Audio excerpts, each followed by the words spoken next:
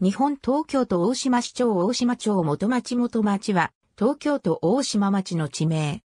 郵便番号100-0101。伊豆大島西側の海岸部に位置する。大島町役場、大島市長庁舎が所在する伊豆大島の中心集落、元町を中心とした地域であり、島の玄関口元町港、大島空港がある。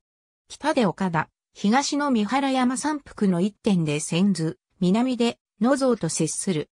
集落は1338年の噴火により流出した溶岩の上にある。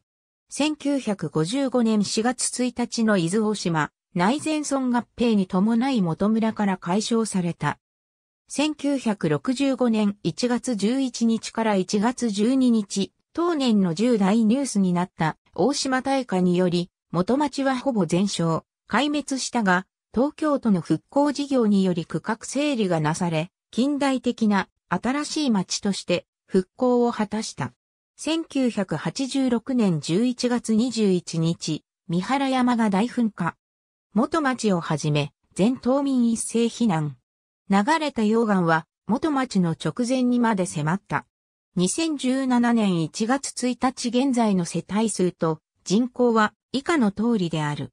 AB、自別の世帯数と人口構成。東京都。2018年1月23日閲覧。AB、郵便番号。日本郵便。2018年1月23日閲覧。市外局番の一覧。総務省。2018年1月23日閲覧。全島1万人、史上最大の脱出作戦。ありがとうございます。